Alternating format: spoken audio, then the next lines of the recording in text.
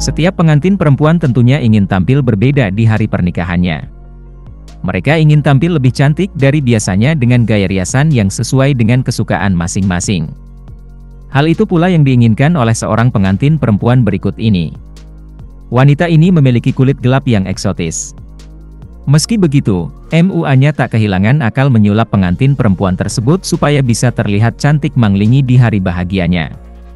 Mua ini pun menunjukkan skill make up-nya yang mengagumkan.